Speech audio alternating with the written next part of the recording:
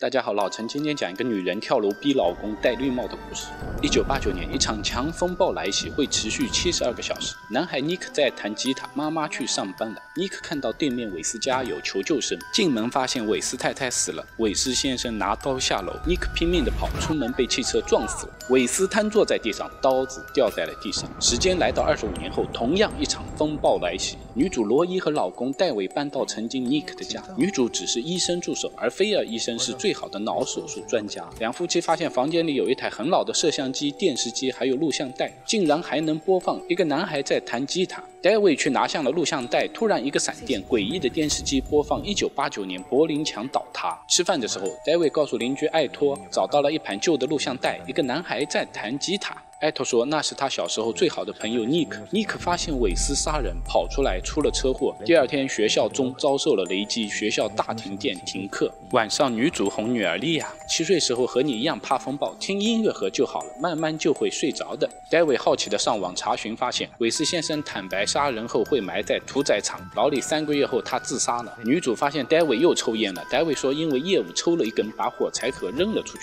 晚上电闪雷鸣，女主发现电视机开始播。放了，去关闭电视信号。电视里出现了尼克，两个人彼此看到了对方，听到了对方说话，吓得女主关了电视机。随后女主又打开电视机，尼克看到了瓦尔站的标志牌，那是女主和艾托在瓦尔山相遇的纪念。突然，尼克家外面传来了呼救声，女主大叫：“尼克，别去，求你了！”女主来自二十五年后的未来，给尼克看了他死亡的新闻，所以千万别去。尼克认为是恶作剧。女主告诉尼克，明天去上学会发现闪电击中学校的钟，学校停电停课。女主大叫：“让尼克别去！”尼克跑开了，白光闪过，女主晕了过去。因为女主的举动，人生的轨迹开始改变。第二天，尼克去上学，果然闪电击中了钟，学校大停课。尼克去韦斯家，从后门敲碎了玻璃进门，走上楼，看到浴室里韦斯太太的尸体。尼克看到了护照，护照上是克拉拉的照片，而名字是韦斯太太。韦斯先生回来，尼克躲在了床下，捡到了一只手表。尼克亲眼看着韦斯先生肢解了韦斯太太。时间回到二十五年后，女主在医院里醒来，有人催她给病人做手术。自己的女儿莉亚不见了，没有任何人记得她。找老公戴维，戴维不认识女主，哪来的疯婆子？女主去报案，警长了解后说：“你说的只存在于你脑海记忆中，根本不存在。”和戴维交集是女主给他做过脑手术，取出了一个脑膜瘤。女主现在成了医院里最好的脑科医生。十二天前，女主在高难度手术中失败，受了刺激，一直在休假。女主明白，救了尼克，一切变了，但是一定要找回女儿。女主回家，发现房门被撬开，查了互联网，没有尼克的谋杀案，却查到了一本小说，有尼克的名字，故事和女主的记忆一样。戴维的妻子变成了前女友乌苏拉，一番吵闹，戴维报警了。突然一道闪电，整个街区停电了，警察来了，女主只能逃离。女主逃到了埃托车上，说出了很多埃托的秘密。当女主告诉埃托韦斯先生杀了韦斯太太，是尼克看到了。埃托不相信妈妈的老公韦斯是杀人凶手，这个女人是疯子神经病。警长在机场找到了女主，给她送来了衣服。两个人去找作家，作家告诉他们故事是编的，要联系二十五年前的尼克，需要相同的地点、相同的电学，还有摄像机和。电视机风暴已经过去了五十三小时，持续时间是七十二小时，还有十九小时。女主想起了屠宰场，派警察挖掘后发现了人骨，法医验证出来，果然是威斯女士。警察带走了在过生日的克拉拉和韦斯先生，还有克拉拉的哥哥。警长让女主去一个宾馆，去了那里你会明白的。女主去了宾馆，发现戴维和莫妮卡通奸，还看到了香烟盒。手术后，戴维就和莫妮卡一起了。女主拿戴维出轨威胁，让戴维帮女主找到尼克的信息。戴维根据尼克妈妈的信息查找到了一个地点，警方开始审问威斯。威斯回忆那天和克拉拉一起疯狂偷情，韦斯太太一个回马枪拿刀走了进去，一番打斗，克拉拉不小心捅死了韦斯太太，韦斯太太摔下了楼，克拉拉手表掉在了韦斯家，韦斯先生没有找到，肢解韦斯太太后放入汽车埋在了屠宰场。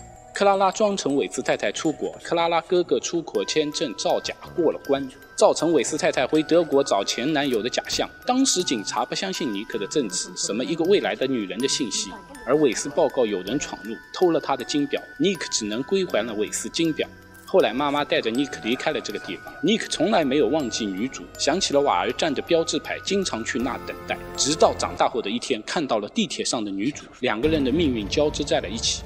女主根据地点来到尼克家里，房间里有女主和尼克的相识、相爱和回忆，甚至音乐盒。风暴在继续，电闪雷鸣。警长尼克回来告诉女主，你失忆了两天，所以引导女主看到戴维出轨，通过他找回失去的记忆。风暴要降临了，女主明白了，闯入戴维家的就是探长尼克。担心改变过去失去女主，所以拿走了电视机和摄像机。女主让尼克联系1989年的他，不要痴迷女主，必须忘记女主，忘记韦斯先生。女主需要遇到艾托，然后后遇到戴维，需要女儿，不希望尼克来干预。尼克过来亲吻了女主，女主马上拥有了和尼克的记忆，接吻，一切的开心，一切的啪啪啪，甚至结婚。这个感情很强烈，但是女主坚持要尼克回去，飞身而下跳楼了。你是尼克，这次轮到尼克救她。